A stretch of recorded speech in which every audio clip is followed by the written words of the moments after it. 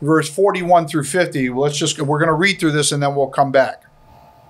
It says, Moreover, concerning a foreigner who is adulterous, who is not of your people, mm-hmm. which would be Israel, right? A tribe not of Israel, but has come from a far country of your name that has honor, authority, and character's sake, that is motivated for that purpose. I think that's very interesting. I'd like to come back to that. Mm-hmm. Verse 42 For they will hear to the point of obedience of your great name and your strong hand, which leads in a direction of power and your outstretched arm when he comes in praise and intercedes toward this temple. Hear in heaven, your dwelling place, and do according to all for which the foreigner who is adulterous calls to you, that all peoples of the earth may know that your name, which is a mark of an individual for honor, authority, and character. Mm-hmm. There's a lot to digest in this. Mm-hmm. And fear morally of you as do your people Israel, and that they may know and recognize that this temple which I have built is called by your name. When your people, in verse 44, go out to battle, in warfare against their enemy, a hating adversary, wherever you send them, and when they pray with supplication, asking for mercy, deliverance, and salvation to Yahweh toward the city which you have chosen and the temple which I have built in your name, then hear in heaven their prayer and their supplication, which is gracious favor, and maintain their cause. uh, Which is a judicial verdict that comes from the divine law of Torah when they sin against you, for there is no one that does not sin, and you come and become angry to the point of enragement with them and deliver them to the enemy, and they take them captive to the land of the enemy far and or near. So we messed up. Mm-hmm. Our enemies have taken us captive. We're now in another land and we're suffering. Okay. And they come to their senses. Yet when they come to themselves, back to where they started in their minds in the land where they were carried captive and repent and make supplication. To be moved to favor by petitioning to you in the land of those who took them captive saying we have sinned and done wrong. We have committed wickedness. And when they return to the starting point to you with all their heart with understanding with all their soul in the land of their enemies who led them away captive and pray with supplication towards you. Their land which you gave to their fathers the city which you have chosen and the temple which I have built for your name, which is a mark of an individual for honor, authority, and character, then hear in heaven, your dwelling place, their prayer and their supplication, and maintain their cause through the divine law of Torah and forgive your people who have sinned through rebellious revolt against you and all their transgressions which they have transgressed as to break away from just authority against you and grant them compassion as cherished a fetus in the womb before those who took them captive that they may have compassion with love on them. Now that's a lot to digest in there. But basically at the end of the day there's going to be an end time group of Gentiles who are going to become convicted. And they're going to break away from this system of corruption that we see going on right now. And they're not going to want the mark of Cain or the nature of Cain anymore. So I'm going to leave it over to you because I know that you want to go ahead and um, point number one, you want to talk about whose prayers were heard, verses 41 through 42. Yes, for like I said in the opening comments, he made it uh personal he began to show me in the ways that he made it personal because I had a prayer when um I got in trouble. And that prayer was for him in my in my mind, ever no way I was gonna be forgiven. Uh it even it's exonerated from this this trouble I had gotten into. So I said, I'm going to die in this place. But if I die, just let me die having a right relationship with you. Lead me to somebody that's not going to pity pat with me, not going to speak soft to me. It's going to just tell me the truth, whether I can take it or not, because I want to be right when I meet you. And so when Solomon was praying for the people of Israel, and then in his prayer, he was asking Yahweh, even if a, a, a foreigner would pray to this temple, now, I had no knowledge of the way that they do traditionally now turn to the east and pray towards Jerusalem. Uh, but Yahweh was showing me that his Jerusalem is up in heaven with him. Right. And the temple is up there. Mm-hmm. And I was literally praying toward that place, and he heard me, you know. And the person that he sent to me was really a strict, of a strict nature and he began to come. But finally, as the years passed by, and I was able to meet this person face to face, and he literally told me that Yahweh did not hear my prayers. And that's why I'm making this personal because it's people out there that are really crying out to be delivered from some sin or from some stronghold there, knowing that somewhere you heard about this great name of Yahweh and how compassionate he is.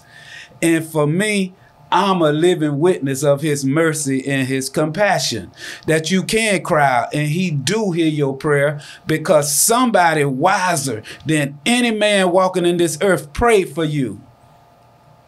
And Yahweh acknowledged that prayer. And he will acknowledge your prayer and direct your path along the way. But that enemy, that seed that's already planted in the world is there to hinder you and distract you. So through much evidence, Yahweh proved to me that he heard, but this teaching I was about to receive was teaching me that he didn't hear me, that I needed that person to pray for me. But I'm already delivered at that point. But the seed that's in me can't allow me to see the deliverance that I had already received. So I'm still in the same condition and I'm lost. And he began to show me, uh, I don't want to get ahead, but basically, right there, that's my first point about receiving Solomon's prayer for you and acknowledging that Yahweh does hear your cries even if you a foreigner, not just for his people. Baruch Hashem. Um, you know, I, I've met a lot of people over the years that are in a place in their life where they're in a lot of trouble. What you were mm. saying is bringing back memories of a lot of these people. And the the vast majority of the people that I've experienced with this with over my 40 plus years now in this faith. You plead with them and you plead with them and you plead with them, and you're hoping they're at the end of their rope and you've got some sort of a leverage that they want to cross over and change their life. Mm-hmm. And they just won't do it. They just won't pull the trigger and do it. And what it shows me is that the seed of Cain or the nature of Cain in that pride is so deep and so ingrained that unless a person unless a person is really truly at the very end of the ropes and it, that reminds me of your story so much as you told it over the years while being in prison mm-hmm. um, unless that desire is so great to want to get right with Yahweh, mm-hmm. it ain't going to happen. The other way is Yahweh, for whatever reason, he decides to have mercy on a person in that situation and decides to open up his heart and grant him repentance directly in that way, then it would happen for that person. Now, then at that point, it's the burden of that person to continue on and not fall away from the faith. But my point is, is that the vast majority of people that I meet just can't pull the trigger. I just can't go that far. I know what you're saying is right, And I know that's the remedy for me, but I just can't do it. I won't do it. And there's a whole bunch of reasons why, but at the end of the day, that's a mark, that's a sign that the nature of Cain is so deep in that person that they're just staying in a state of being unregenerate. They can't be regenerated. And uh, it's very sad to watch people deteriorate. And I see them, and then I, I might bump into them, you know, a year or two later. I don't even recognize them anymore at that point. Their life has devolved into so much chaos and confusion with financial problems, family problems, relationship problems, health problems, all kinds of different problems. And it just gets worse and worse and worse. Mm-hmm. And it's like you sit there and you look at that and you're like, how pathetic. And then you sit there and you think to yourself, at what point does this person say, I've gone too far? Something's mm-hmm. got to change. Well, this group of people decides at some point that they're going to change. And the one thing that comes out here in verse 41 is that they are motivated to come to Yahweh for the purpose of receiving honor, authority, and character. Mm-hmm. That's what it says in the Hebrew. Mm-hmm. I'm not I'm not extrapolating this of my own thoughts. This is what was in the Hebrew translation. And it's for and it's so that's a clue. So obviously their past life is a life where they're sick and tired of it. They don't want it anymore and they want something better. They can't take it no more. And and and something came into their hearing Mm-hmm. that they not only understood what they were hearing, but they understood it with intelligence. Mm-hmm. You know, I'm I'm gonna just real short. When I was a much younger guy and I went into business for myself, I wasn't mature in how to handle money. Mm-hmm. And I made a lot of stupid mistakes over the years and getting myself into debt and all kinds of things like that. And it took a while before I started realizing money is a tool, but you gotta you gotta handle it. There's a law that regulates how it gets used in a righteous and an unrighteous manner. And it took me a long time to figure out how that actually works because I was never trained in that.